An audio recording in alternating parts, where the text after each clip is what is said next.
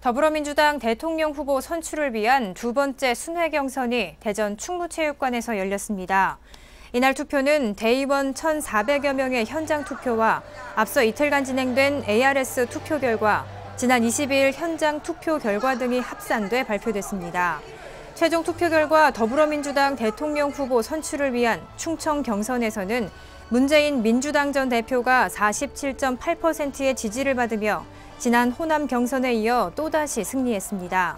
안희정 충남지사는 36.7%로 다음을 이었으며 이재명 성남시장은 15.3%, 최성 고양시장 0.2%를 기록했습니다.